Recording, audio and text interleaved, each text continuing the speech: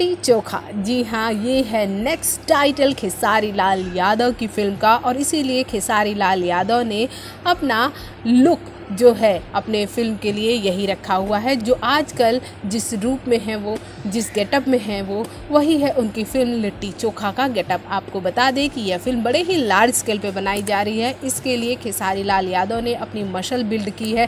साथ ही साथ खेसारी लाल यादव लॉकडाउन खुलने का इंतज़ार कर रहे थे, लेकिन सुनने में आ रहा है कि खेसारी ने अब वो सारा प्लान कैंसिल किया है। बड़ी ही कम टीम के साथ लॉकडाउन का पालन करते हुए इस फ़िल्म की शूटिंग की जाएगी। सुनने में आ रहा है कि फ़िल्म में उनके साथ शहर अफसा नज़र आएँगी। जी हाँ मेहंदी लगा के रखना थ्री वाली एक्ट्रेस नज़र आएँगी शहर अफसा। और खेसारी की ये दूसरी फ़िल्म है, यानी खतरे की घंटी काजल राघवानी के ऊपर बजने लगी है। खेसारी लाल यादव को ऑप्शन के रूप में शहर अफसा मिल चुकी हैं। वैसे शहर अफसा और खेसारी की जोड़ी को मेहंदी लगा के रखना थ्री में बहुत ही पसंद किया गया था और लोग फिर से इन्हें देखना चाहते हैं। इसलिए खेसारी लाल यादव और शहर अफसा फिर से इस फ़िल्म में कंफर्म आपको देखने को मिलेंगे।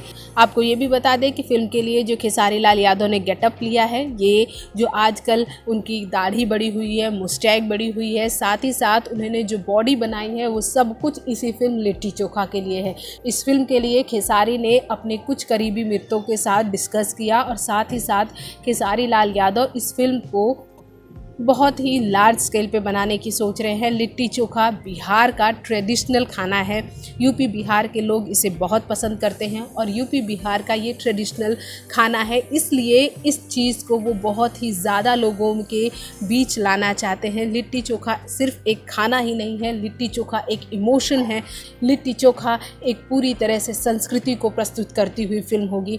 आपको ये बता दें कि खेसारी लाल यादव ने पहले से ही अपने डायरेक्टर और प्रोड्यूसर को कह रखा है कि फ़िल्म में भाई अश्लीलता नाम मात्र की भी नहीं रखी जाएगी। यानी कि फ़िल्म के गानों को भी इस तरह बनाया जाए कि लोग अपने परिवार के साथ देख सकें।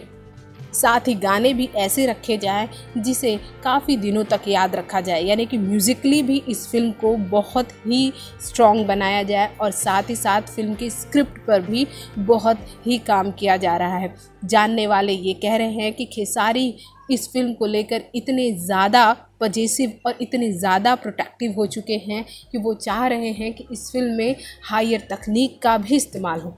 अब तो फ़िल्म जब बनकर आएगी, तभी लोगों को पता चलेगा कि किस तरह की फ़िल्म है। लेकिन खेसारी जिस तरह का कंसर्न दिखा रहे हैं, उसे देखकर यही लग रहा है। खेसारी लाल यादव अपने इस फ़िल्म को लेकर काफ़ी इमोशनल भी हैं, क्योंकि यह फ़िल्म उनकी सभ्यता, संस्कृति को दिखाती हुई, यानी कि बिहार की सभ्यता और संस्कृति को दिखाएगी। और माइग्रेंट पीपल जो कि बिहार और यूपी को छोड़कर दूसरे राज्यों में, दूसरे देशों में बस गए हैं उनकी समस्या को भी दिखाएगी। क्योंकि आपने ये तो सुना ही होगा कि जब भी मज़दूर ये यूपी बिहार से जाते हैं या जो लोग यूपी बिहार से बाहर जाते हैं तो अपने साथ वो लिट्टी चोखा को लेकर ही जाते हैं। तो भाई, आप तैयार रहिए खेसारी की एक दमदार फ़िल्म के लिए। भोजपुरी जगत की हॉट और मसालेदार गॉसिप के लिए हमें सब्सक्राइब करना बिल्कुल ना भूलें